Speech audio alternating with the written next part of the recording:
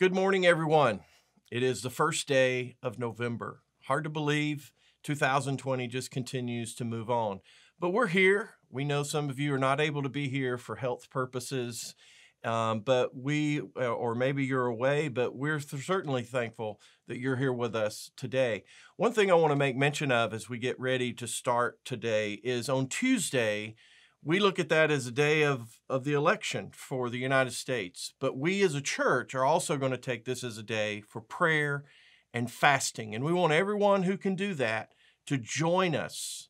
And, and maybe it's a food fast, maybe it's food and media. That probably wouldn't be a bad idea as well. But we are not praying and fasting for a candidate. We are praying that God is in control of this election, that God's will will be done, that we trust whatever happens, that we trust God.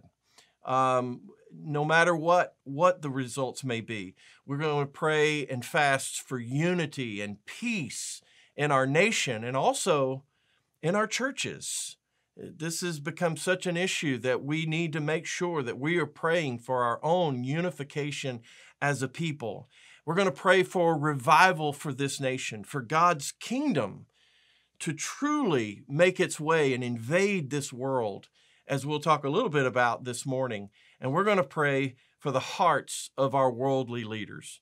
No matter who they may be, no matter what side of the aisle they'll be on, we're going to pray for those folks. So I think that's important. But today we're going to Matthew chapter 6, and we're dealing with prayer. Last week, Jesus talked about these, these hypocritical religious leaders. And he gives three examples where they had done their, they had practiced their righteousness to be admired by others, to, for other people to look at them in a special way. And one of those examples was prayer. And after it, Jesus gives what we often call the Lord's Prayer. But really, it's the disciples' prayer. He begins in verse 9 and he says, And pray then like this. Well, what does he mean by that? I think he meant that we were to pray this prayer. I believe that was the intent. Imagine what Jesus is offering us here. We are getting into the very process of how Jesus prays. He is giving us a gift, He's not giving us a lecture.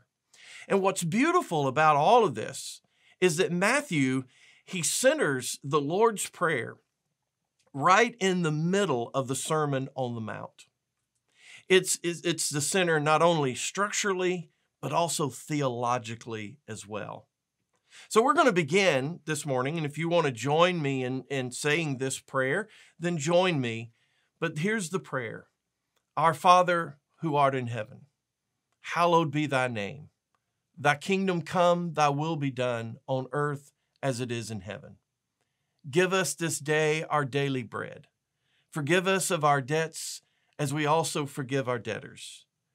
And lead us not into, into temptation, but deliver us from evil. Amen. There are two main sections that you will see in your Bible with this, this text. He says the first part, there are three things that are stated, and he says, Your, speaking of the Father, your, your, your. And then he moves into the communal aspect of the believers in Christ. And he says, Us, three times us, us, and us. It is a rhythmic poem. It is filled with literary and artistic structure that makes it easy to memorize. I believe that was the intent. And so here it is, it's centered upon Jesus' teaching, as you're going to see, as Jesus will eventually teach the two greatest commands, which is to love God with everything we have, and then to love your neighbor as you love yourself. Let's look in the first aspect here of loving God. Jesus gives these three petitions to tell us who God is and also the concerns of the Father. And the first one is, Hallowed be your name. Hallowed be your name. Hallowed means holy, set apart, unique. And he's letting us know that in our world today, that his name is not being made holy. that his name has not been treated as unique in this world. And so Jesus brings the kingdom in order to restore God's name, to restore his reputation. I mean, we look in our world today, we look in the nations of the world, and we, we look over the years. And, we see people who belittle those who believe in God. They, they believe those who believe in the creator of the heavens and the earth. They think that this is some kind of fable. Our God is, is con- called a warmonger, a homophobic, a, a misogynist, uh, all kinds of fancy other words to describe our God in a very negative way. And his and even in the highest offices in, in of this land and other lands, we have heard people who discount those who believe in God. His name has been mistreated. It has been misunderstood his image bearing people. Based on Genesis 1:26 we've fallen off the rails. Jesus has come into our world to set things right through this movement. And so he says hallowed be your name your kingdom come. Jesus' message was very simple when he began preaching back in chapter 4 in verse 17 he says repent for the kingdom of heaven is at hand. It's here. It's, it's about to break through. Who are the crowds? These are the people who are first being offered, who have been offered the kingdom of God. These are people who are changing their lives, turning from their own lifestyle, and they are turning to the way that Jesus is teaching them. The whole basis of the Sermon on the Mount is to say, this is the kingdom teaching. This is what it's like. So the kingdom is breaking in.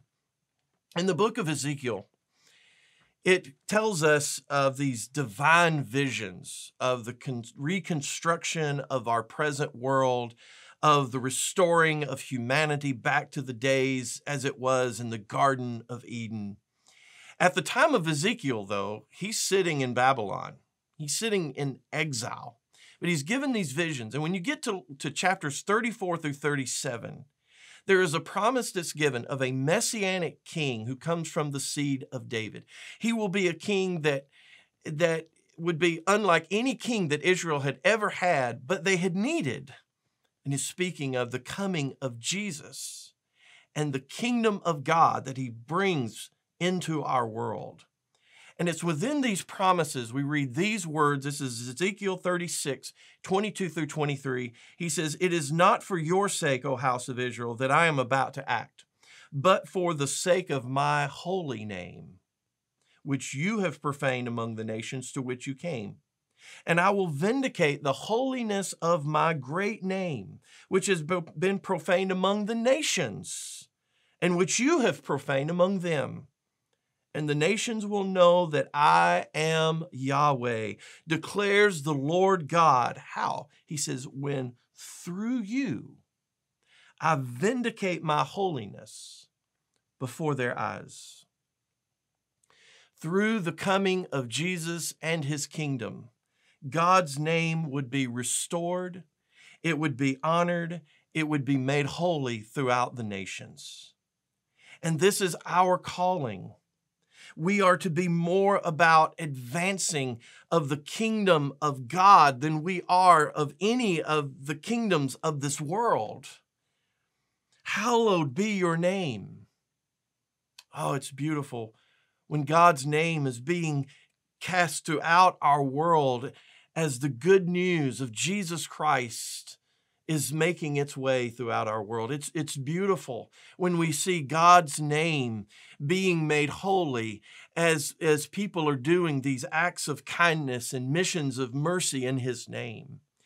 It's beautiful when we see that in God's name, people are compassionate to those who are downtrodden. And so we pray, Father, help us, help us to restore your holy name in our world.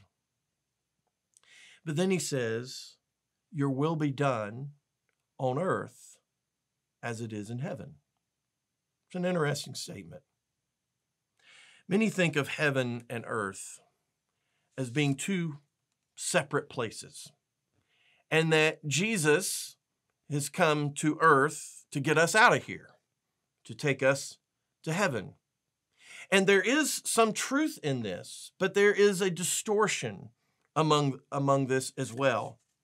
Because this in Genesis 1 and 2, heaven and earth, they are completely together. They are one big unification. They are in perfect harmony with God. But in chapter 3, we see what happens. They fail. And because of the failure of humanity, they are cast out of that garden. They are taken into a place um, that is outside of the presence of God. But what we see is that it didn't drive God out of our world. We don't have time, but we could we could look and see how God's presence was still holding on in our world. The kingdom of heaven, folks, it is God's movement. It is an invasion of the kingdom of God and for God's presence to come into our world and to take it over once again. Folks, that's the story of Jesus. How does Revelation end? It ends in Revelation 21, verse 10, through the symbol of Jerusalem. He says that heaven comes down and it joins earth once again. There is this final completion when heaven and earth are once again restored. Creation is restored, according to Romans chapter 8 and verse 21. Humanity is restored as you read 1 Corinthians chapter 15, especially verses 51 and 52. Has the kingdom come? The, the answer to that is yes. Jesus says the kingdom of heaven is at hand. It has come. But the question is, has it permeated every inch of our world? And the answer to that is not yet. Not yet. The kingdom lives in his disciples as we are filled with the, his very spirit of God. The kingdom is here. And those who are not a part of this kingdom, one day we're going to be pushed out. They will not be in the presence of God. They will have their own place. So we are to pray daily for more and more of heaven to take over the earth, for more of God's kingdom to take over our own lives, more of our lives. Because that, folks, is what God is about. So now we look at loving your neighbor. Only after we orient ourselves in the first part of this prayer can we move to loving your neighbor as you love yourself. The first thing he teaches us is to pray, Give us this day our daily bread. Now, notice he says us, he doesn't say me. Why does he do that? Well, I believe that what he's saying is this is to be a communal prayer. This is something we are to pray together as disciples of Jesus. He could have very easily said me, especially coming off of when he's talking about the hypocrisy of their prayers and they're outside and they're wanting to be seen. He tells them, go into a private place. Very easily, it would, or really naturally, he could have said here to pray me, but he says, pray us. Now he says, give us this day our daily bread. Can you think of a time when the community of God's people prayed daily or relied daily on God's bread? manna in the wilderness, right? This story is between the time of Israel being delivered from slavery of sin to the promised land that they would be given a rest as they would finally come into that land. And they are in this in between stage, relying upon God daily for those provisions. I absolutely believe that was intentional as we have been delivered from our slavery to sin, and we are waiting for the great promise of a new heavens and the new earth. and here we are, we are in the middle, we are in our wilderness, and we are to rely upon God every day. In this period, we are tempted to believe that we are the ones in charge, that it's our money. We work hard, we can do with it whatever we want. We become attached to it. And so we're tempted to think everything that we have is because of us. Jesus says, or what I believe Jesus is saying here, is that the mindset of every disciple of Jesus is that we are is is that we are provi- we are relying upon God for our daily provisions. Now, there were many in the crowds who who did absolutely do that, but I believe he's talking to all of us, no matter where we are in life. And and that we are to see ourselves and put ourselves in the mindset of a day laborer or or a beggar, if you will, who sees their daily bread as a gift that is not to be taken for granted. To view our food and clothing, shelter, our family, relationships, community, all of these as a gift from the Father of lights. And by doing so, it changes how we think, it changes how we see things. The very first thing that happened in Acts chapter 2, when, when, when Jesus now has ascended into heaven, the Holy Spirit has now come, is we see the disciples, they're sharing their stuff if you were to read Acts 2, verses 44 through 45. They sold their extra and they gave to those who were in need. It, it, this kind of prayer, it, it absolutely is about generosity. Everything we have uh, beyond our own necessities, it's a gift. We start thinking about others. And Jesus is really going to deal with this next week, so I'm not going to push it too far um, this week. But here, this is a prayer, our daily bread. And then he teaches us to pray Forgive us our debts as we also forgive our debtors. Forgiveness is at the very heart of the kingdom of God.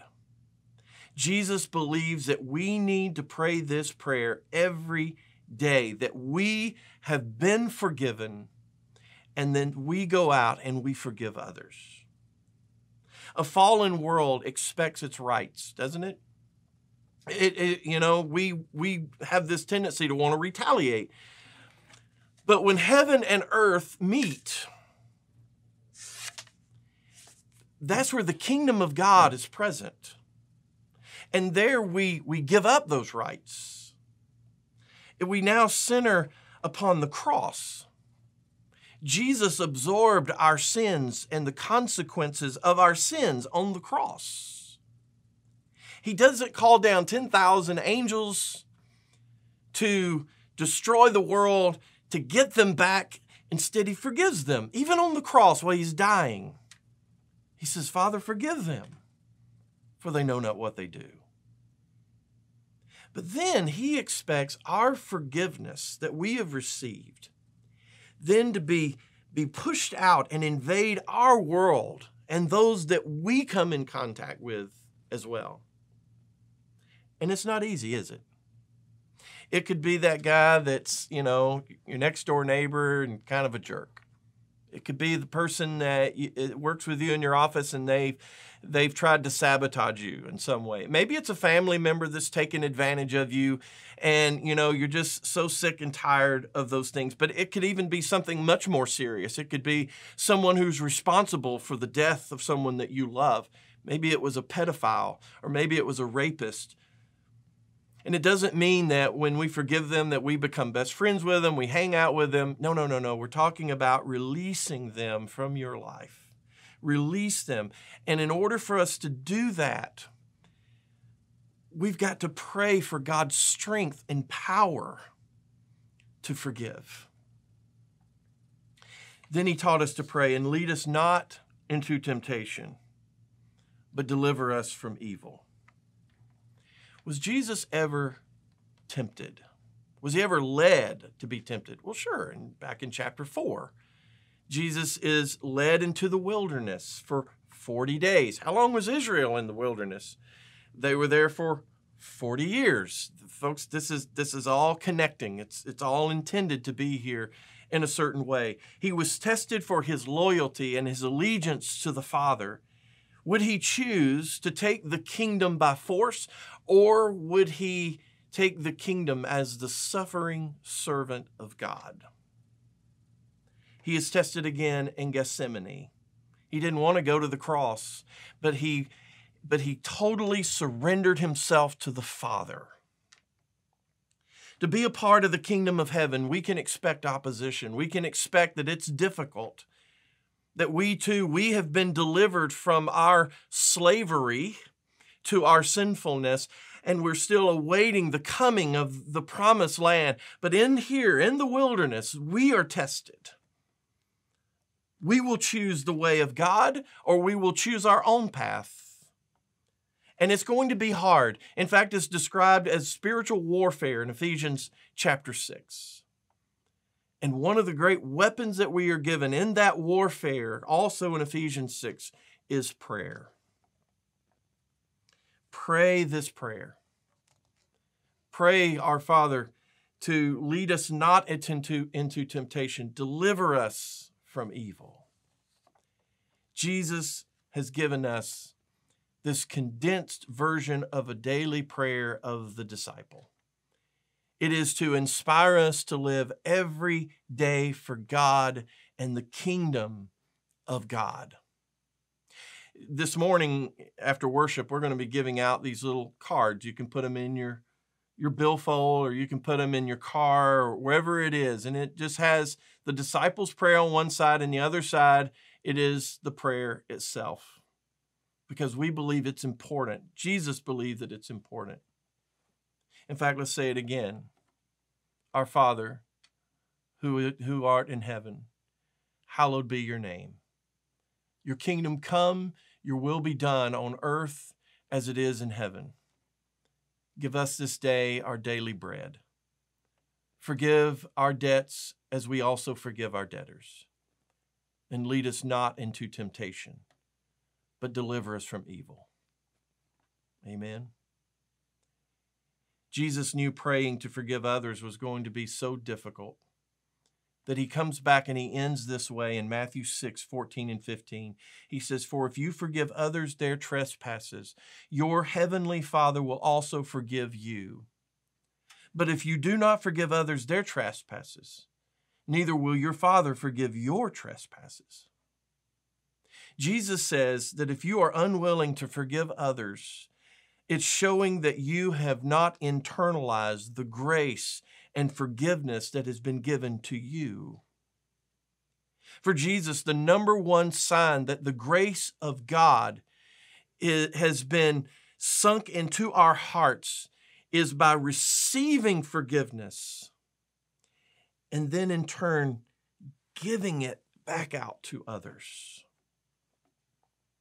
Perhaps this is the reason we were intended to come together as a body of people to partake of the Lord's Supper, to share in this supper together as we remember the forgiveness and what it took for us to have forgiveness, as also we forgive others. Matthew 26, Jesus goes on to say he took bread and he blessed it. He he gave thanks to uh, to uh, gave it to the disciples. He said, "Take, eat. This is my body." He took the cup, and when he had given thanks, he said to them, "Drink all of it, all of you, for this is the blood of my covenant, which is poured out for many for the forgiveness of sins." And I just wonder, are there people maybe that it's a part of this church that you need to forgive? Maybe there's um, maybe there's someone else out there, there that you need to forgive. There may even be people out there that has begged you for forgiveness, but you know they've just hurt you so badly, too badly, you think. In Ephesians 4:32, Paul says, "Be kind to one another, tenderhearted, forgiving one another as God in Christ forgave you." How does God forgiving you which is your sinfulness against the holy name of God. How does it compare to what someone who is a sinner has committed against you, who, by the way, is also a sinner? The Lord's Supper, as we have come, we're going to come together this morning. We circle around this table of fellowship and we celebrate God's mercy and grace with one another. And maybe it's something you need to do. Maybe you need to even be here with us in this fellowship as, as we commune together and thank God for our forgiveness and then release others who have, who have sinned against us. Let's pray.